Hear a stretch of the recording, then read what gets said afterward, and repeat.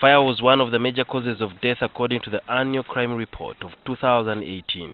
Some of the victims were school students, including this one in Kalung district, where a number of learners were killed and property lost.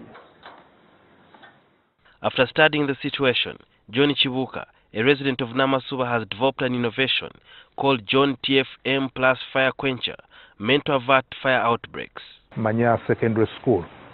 Uh, it was an S3 dormitory where nine of the students perished in that fire and a number of them did what? Sustained very severe you know, injuries.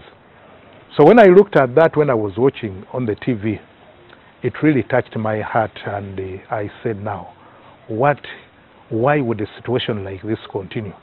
Can't we find a solution to it? The machine is fabricated with a steel housing that protects the inner components of the extinguisher. It has a hose pipe that is connected to the water source and the 140 liter tank that stores water. There is also a hose pipe connected to the pump and outlet. He did not want the inner parts filmed to avoid replication. The machine runs on electricity, which could be a challenge in case of power cuts during a fire outbreak. Uh, still, we can have a, a, power backup design for it, but uh, the concern is to do with the cost because it becomes more costly. When switched on, the pump will start pumping the water inside a tank, creating a lot of pressure. Kibuuka demonstrated to us how the machine works and its effectiveness.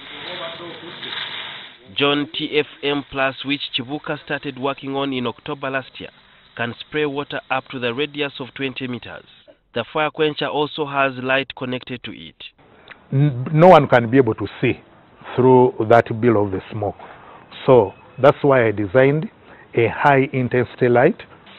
Joshua TFM Plus can pump 140 liters of water within just five minutes. I therefore asked Kibuuka whether that is enough time to put out fire, let's say like in a dormitory that is already engulfed by fire and everything inside is smoldering. The nozzle is adjustable to less pressure, ideal for irrigation of crops.